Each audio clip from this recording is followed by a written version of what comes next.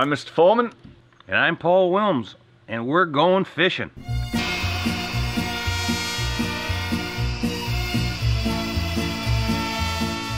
To start this adventure, Paul and I must fly from California to Fort Worth, Texas, and then on to the Yucatan Peninsula in Mexico. Having met with other group members, the mission begins. Departing the domestic terminal of Cancun for yet another flight. Ready for a big week of fishing? Don't tell anybody. Our modest sized plane awaits and requires careful weight distribution. First class. I'm kind, I'm kind of wishing that I'd had more for breakfast this morning. You can. commentary. While the pilot finishes Googling what some of the buttons do, we all buckle in. Once up in the air, we have a good view over the spectacular coastline for a one hour flight south southwest to Espiritu Santo Bay.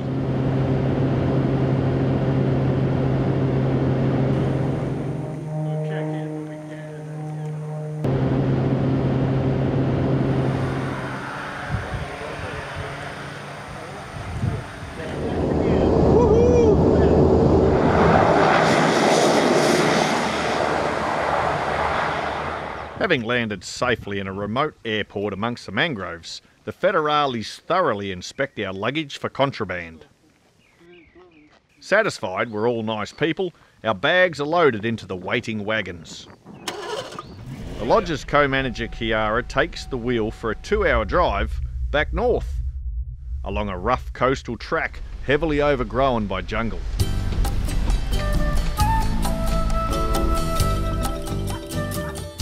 One knows for certain one is in paradise when there are palm trees. Even if the wind howls with gale force and powerful storm cells march across the horizon. It's time to settle into our far from rustic accommodation and have a cup of tea.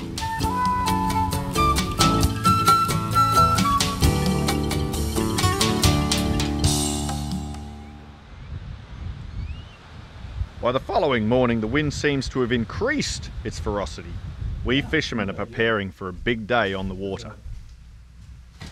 So this is our more than acceptable habitation here on the um, El Espirito del Bahia Los Santos.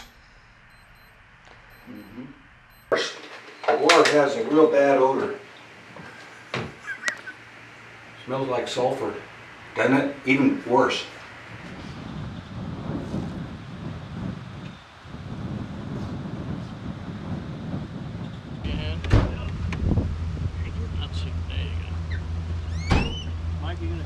Dane is the other half of management and takes the wheel of the chariot that'll transport the lot of us to the boat launch.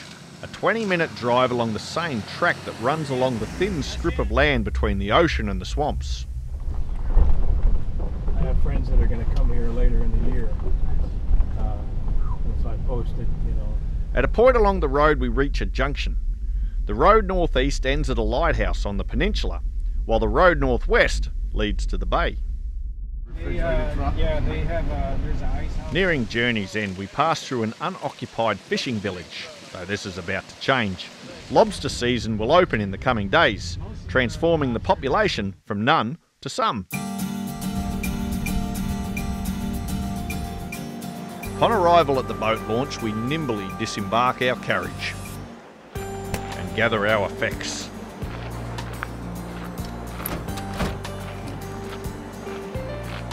At the water's edge, we inspect the boats and meet our guides. We're introduced to Jesus, Jorge, Luis, and Alex. Although our fishing buddy remains the same, we are scheduled to rotate boats and guides. Adios!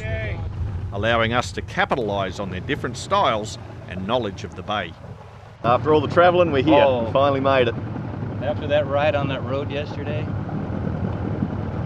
uh, that was almost uh, what's the word I use? Shit house? Unbearable. Oh.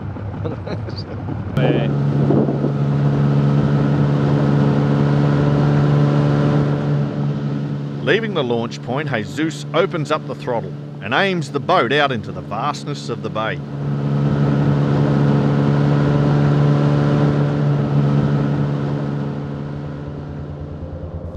Espiritu Santo Bay has an abundance of shallow salt flats fringed by mangroves. It's out in these vast watery plains we have four main target species snook, bonefish, permit, and tarpon. Upon our arrival, Jesus slows down the motor to make a more stealthy approach.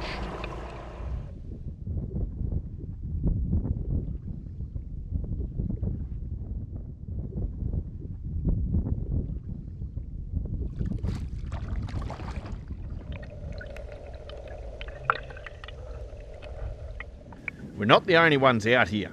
The occasional dolphin or two approach the boat in the unlikely event we might know something they don't. A manatee, the size of a minivan, prefers slightly deeper water. And amongst the mangroves a more sinister residence.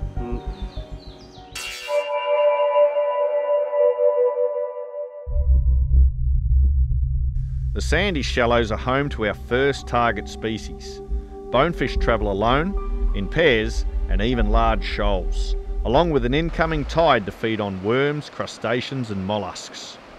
Despite being a common aquatic resident, they are notoriously difficult to spot and are known by some as the ghost of the flats.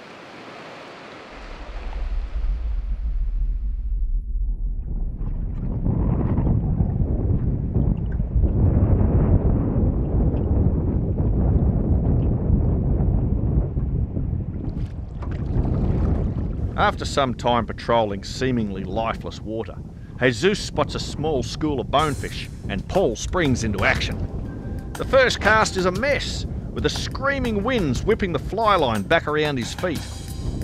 Quickly recomposing for the next cast, the fish have now moved offside the boat and the wind, with more agreeable casting opportunities.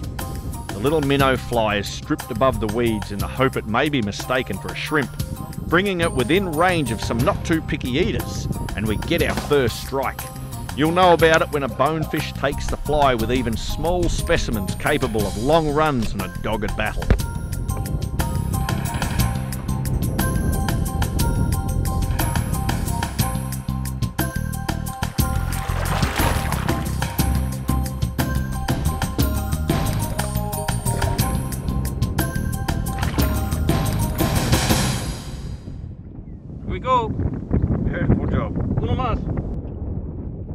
Not highly regarded as an eating fish and aptly named, this bonefish goes back into the water to fight another day.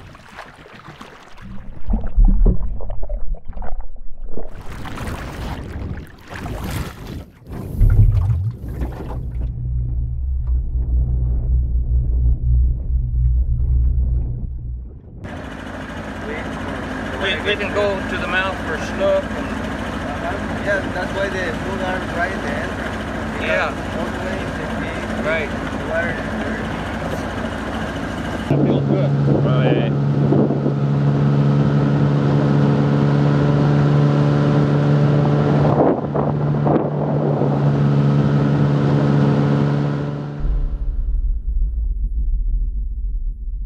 So here we are in the first river and we want to start fishing for bonefish and then we want to check that bush for little snook. After that we can chase some permit but on the north side. I'm gonna change that fly over. I'm gonna, I'm gonna put a weed guard on it though.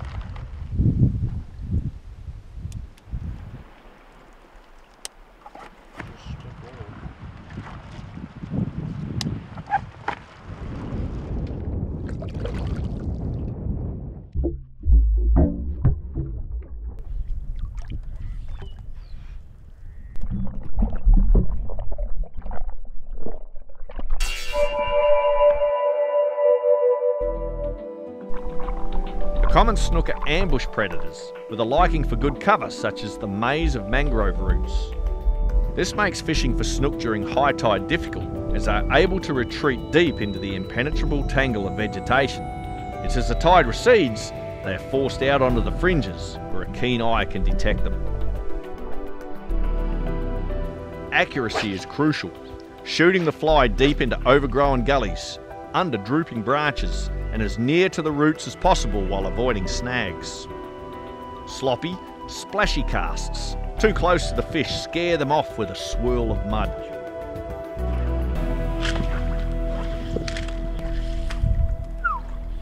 Hmm. A nice, well placed cast can have quite a different effect. Once hooked, the instinct of the fish is to run straight for safety, so Jorge propels the boat backward, keeping the fish clear of cover.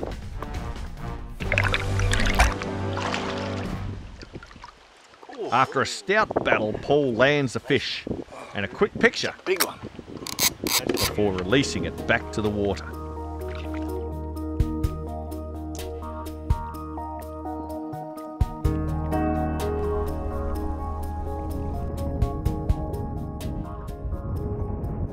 My first cast is a debacle, ending up tangled in the mangroves, and Jorge has to give it a few good whacks with a stick to free it up. Next cast, however, is spot on.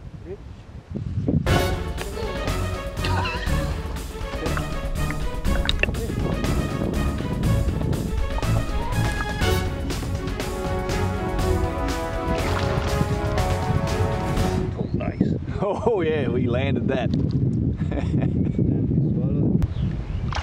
It's a nice fish, about 8 pounds. Oh, good. Well, that's my first snook on a fly line anyway, so I'm pretty happy about that. it's old, it's old school for, for Paul. Hey, you're used to it, eh? Oh no, it's no big deal. the heck, I guess uh, you got to get over it, but you're gonna get over it pretty soon. No, you really don't. You know, this was a thrill.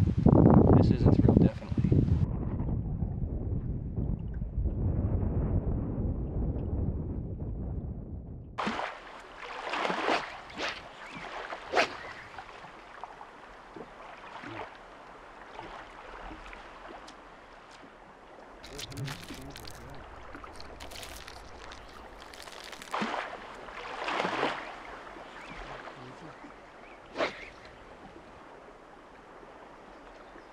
Well, we just landed here at Rio number two in Espiritu Santos Bay. Here's Alex, our guide for the day. And uh, so far, after getting out and landing uh, for a quick baño stop, of course, Gavin catches two snook right off the bat. So it looks like it's a good omen for the rest of the day. We're looking forward to it. Found in a variety of habitats from coastal waters, estuaries, and rivers, is the highly sought after tarpon. They are spirited fighters known for spectacular leaps and are capable of growing up to 8 feet long and weighing over 200 pounds. Under the leadership of Alex, the day begins by searching for snook, shooting the fly as close to the vegetation as we dare. Then a well placed cast fires up the attack drive of an unexpected predator. A fierce little baby tarpon shows off its acrobatics, putting up a terrific fight. Okay. We're on a roll.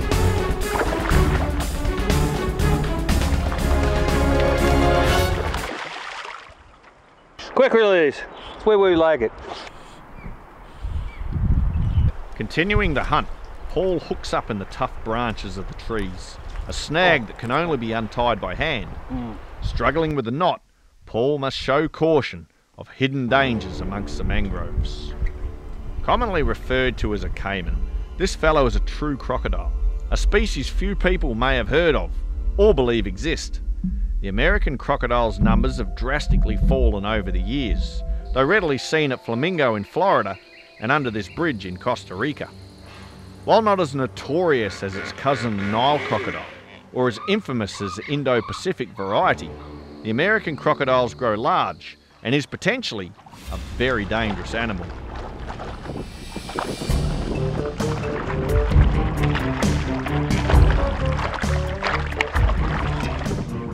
This little fellow is quite a cranky specimen, even by crocodile standards.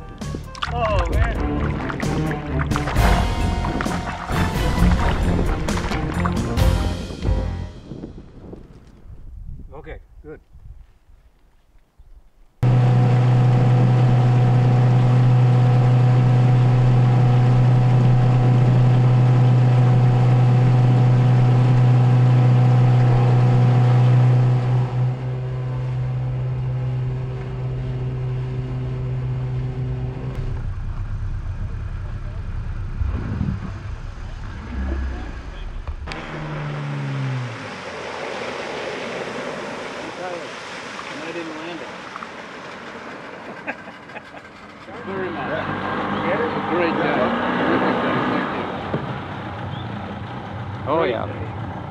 Each day returning to the boat launch, we are greeted by black vultures loitering about, hoping for a gift of stinky fish.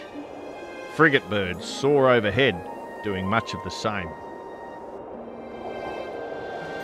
A narrow strip of land between the ocean and the salty swamp supports an interesting menagerie of creatures, such as these Mexican spiny tailed iguanas.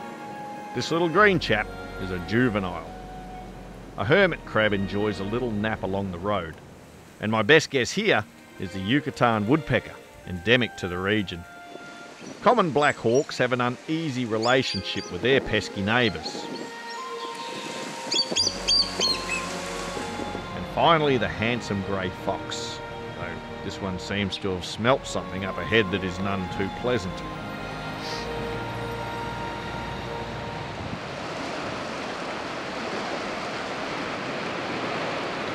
Gather together, we're like plebs. Anyway, we're going to do some interviews here because we have with us, hailing from the mother country, Keith, who has caught the holy grail of fly Holy fishing. grail. Let's talk to him about it now. Tell us a little bit about this permit you caught. Well, You remember you caught a permit? did I? Oh right, yeah. I think it was on day two or was yeah, it it's day a long one? Time ago. one. Yeah, long. yeah. Well, it was fish of a lifetime. Fish of a lifetime. Yeah, it was. Uh, I dropped the fly right on its nose. First cast, took it, screamed off. 250 yards later, I started gaining back. 45 minutes later, I had a fish in the boat. Seven- 45 minutes later, that's quite the fight. asleep. Oh, yeah. I was reading a novel in the back of the boat. yeah? Oh! Oh, Permit are immensely powerful fish, but are also notoriously fussy eaters and easily spooked, making them quite a challenge to catch. This combination makes them the most prized of all for the fly fishermen out on the saltwater flats. On many occasions, we saw these elusive fish. Battling the howling winds, we sent cast after cast towards them, but our attempts to land a permit met with failure. Yet another individual has arrived in our common room who will later talk to us about the ingredients within a certain hors d'oeuvre that's going to be served. And we're going to talk to him about his catch. How did this happen?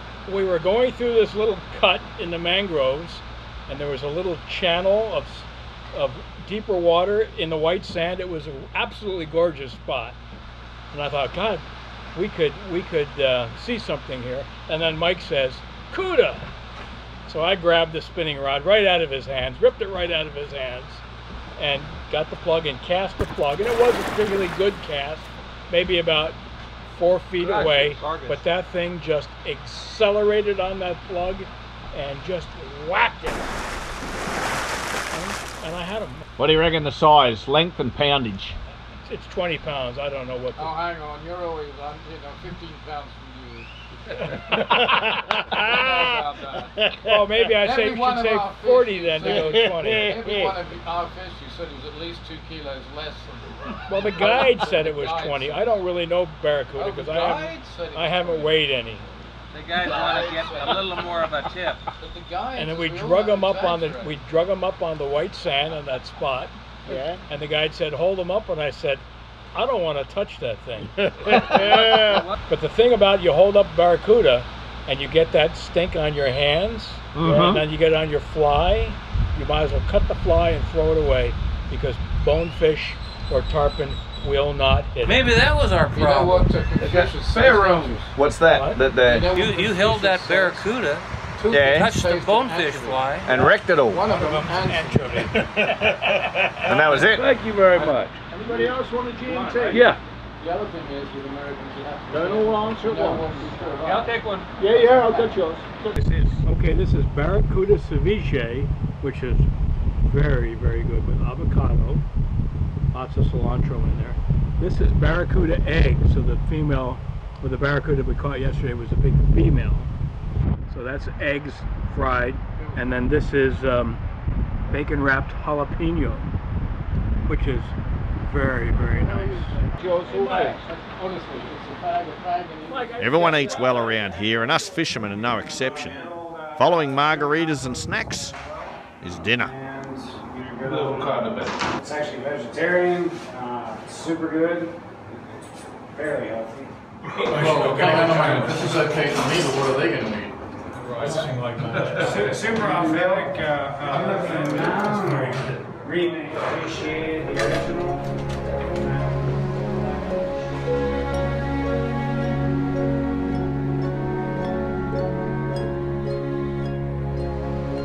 Towards the end of the week, the wind dies off a little in its hurricane force to but a mere Category 1. Gulls forage for food amongst the stinking mats of sargassum along the shoreline. Farther out, brown pelicans descend like missiles onto their prey below. What are we fishing for today, Keith? Oh, we're fishing for anything that swims. Maybe there was some fish. Maybe.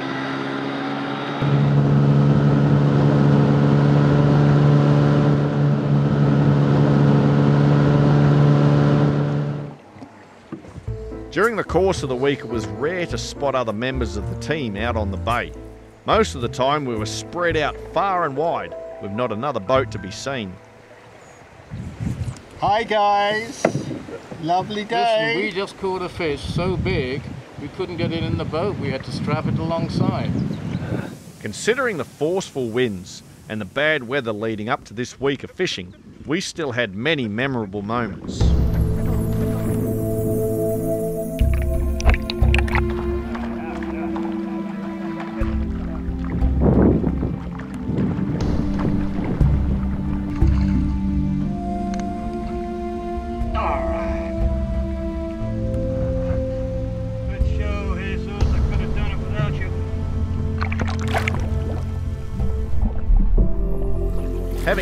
My six weight wispy stick on the third day, I resorted to a three piece 10 pound test overhead bait caster that hooked a magnificent tarpon.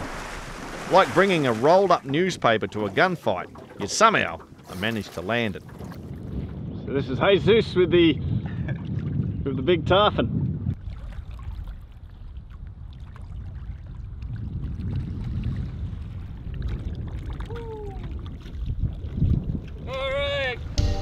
A giant barracuda was also landed on the same rod, destroying the lure and bending out the hook. Snook were always an exciting fish to catch, and although Paul hooked a few tarpon, didn't seem to be able to close the deal.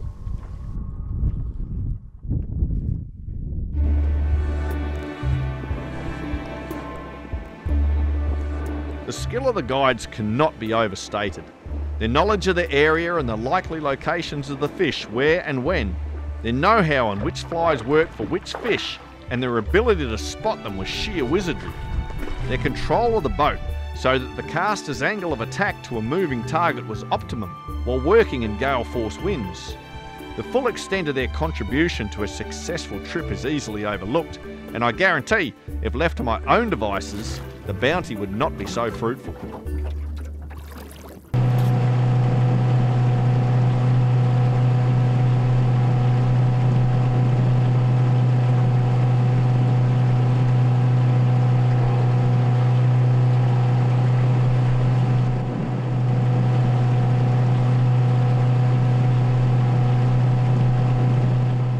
With the chances of catching a permit looking grim, we focus instead on one last task at hand for Paul to actually land a tarpon. Before the real battle begins, Luis intends to get us warmed up searching for bonefish.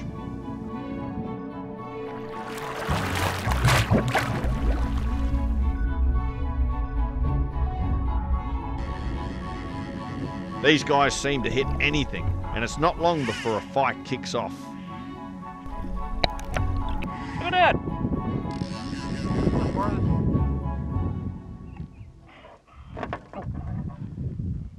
Right, how's that? That's a good bonefish. Okay.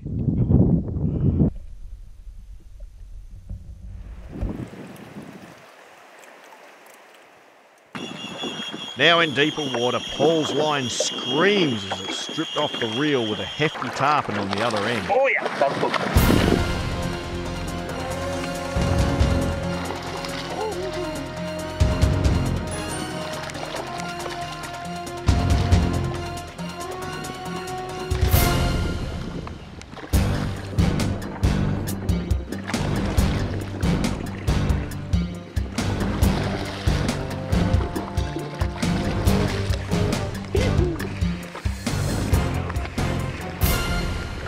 Even with the fish landed, it continues to beat Paul up with fin slaps to the face. Good catch. Good catch.